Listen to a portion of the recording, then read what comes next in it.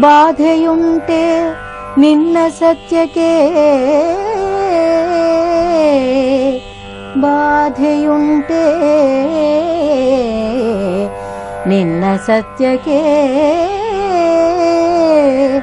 ಸಾಧಿಸುವುದು ಅವಧಿಯನು.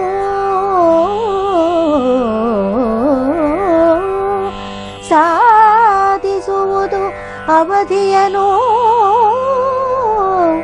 ನಿನ್ನ ವಿರೋಧಿಗಳಿಗೆ ನಿವಾಸಬಹುದು ಕೃತಾಂತ ಲೋಕದಲ್ಲಿ.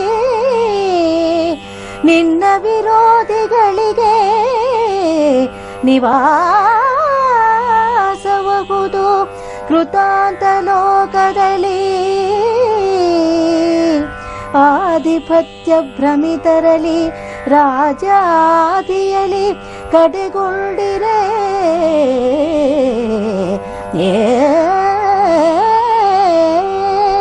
ಆಧಿಪತ್ಯ ಭ್ರಮಿತರಲಿ ರಾಜಿಯಲಿ ಕಡೆಗೊಂಡಿರೆ ಅಖಿಲ ನಿರೋಧವನು ಕಡನನು ಸವೃದ್ಧಿಕವಾಗಿ ಕೊಡಿಯಲ್ದ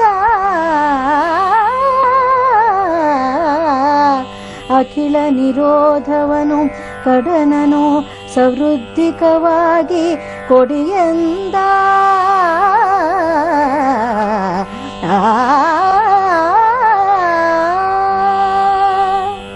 ತುಂಬ ಸೊಗಸಾದ ರಾಗ ದುರ್ಗ.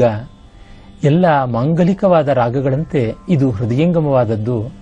ವ್ಯಾಸರ ವಾಣಿ ಪಾಂಡವರಿಗೆ ಬಂದಂತ ಆಪತ್ತನ್ನ ಹೋಗಲಾಡಿಸುವಂಥದ್ದು ದುರ್ಗೆ, ವಿಪತ್ಕಾರಿಣಿಯಲ್ಲ, ವಿಪನ್ಮಾರಿಣಿ ಅದನ್ನು ಸೂಚಿಸುವಂತೆ ಇದೆ. ಹಾಗಾಗಿ ವ್ಯಾಸರು ಹೇಳ್ತಾ ಇದ್ದಾರೆ, ನೀವು ಯೋಚನೆ ಮಾಡಬೇಕಾಗಿಲ್ಲಪ್ಪ, ನಿಮ್ಮ ಸತ್ಯಕ್ಕೆ ಬಾಧೆ ಇಲ್ಲ, ಮತ್ತೆ ನಿನ್ನ ವಿರೋಧಿಗಳು ಯಾರಿದ್ದಾರೆ, ಅವರಿಗೆ ಕೃತಾಂತ ಲೋಕದಲ್ಲಿ ನಿವಾಸ. ಅಂದ್ರೆ ಯಮನೂರಿನಲ್ಲಿ ಅವರು ಶಾಶ್ವತವಾದಂತ ಅತಿಥಿಗಳಾಗ್ತಾರೆ, ಯೋಚನೆ ಮಾಡಬೇಡಿ.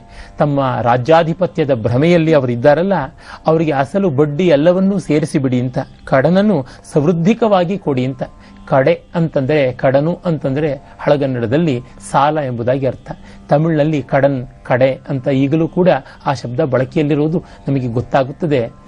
ಈ ಒಂದು ಸಾಲವನ್ನ ಸವೃದ್ಧಿಕವಾಗಿ ವೃದ್ಧಿ ಅನ್ನುವ ಸಂಸ್ಕೃತ ಶಬ್ದದಿಂದಲೇ ಕನ್ನಡದ ಬಡ್ಡಿ ಅನ್ನುವ ಶಬ್ದ ಬಂದಿದೆ.